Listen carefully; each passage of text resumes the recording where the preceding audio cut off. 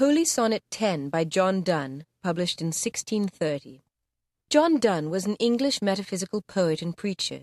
Towards the end of his life, Donne wrote works that challenged death and the fear that it inspired in many men, on the grounds of his belief that those who die are sent to heaven to live eternally.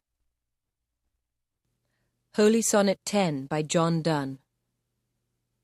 Death, be not proud, though some have called thee mighty and dreadful, for thou art not so. For those whom thou thinkest, thou dost overthrow. Die not, poor death, nor yet canst thou kill me from rest and sleep, which but thy pictures be.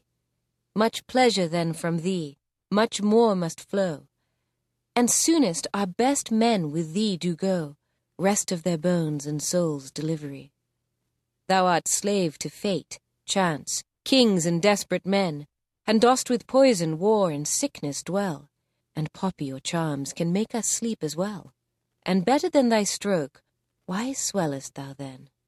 One short sleep past, we wake eternally, and death shall be no more.